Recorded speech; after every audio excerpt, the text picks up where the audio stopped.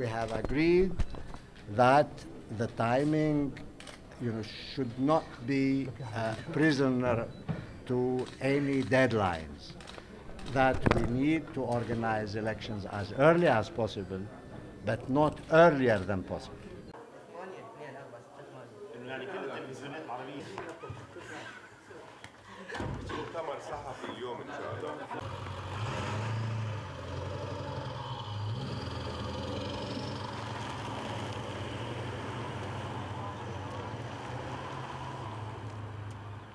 and your organizations before you ask the questions.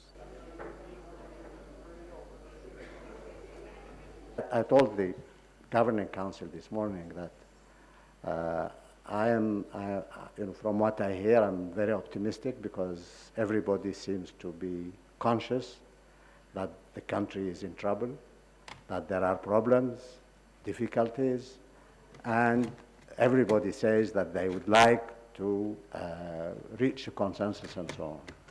But I also said that I am a little bit disturbed and I am a little bit uneasy uh, because there are very, very serious dangers.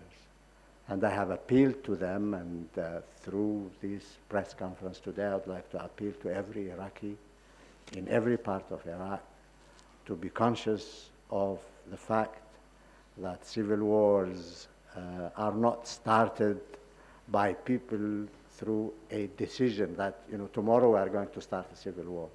Civil wars happen because people are reckless, because people are selfish, because groups think more of themselves than they do of the benefit of their country. وحجة رب العالمين وصل على محمد بن علي إمام المؤمنين ووارث المرسلين وحجة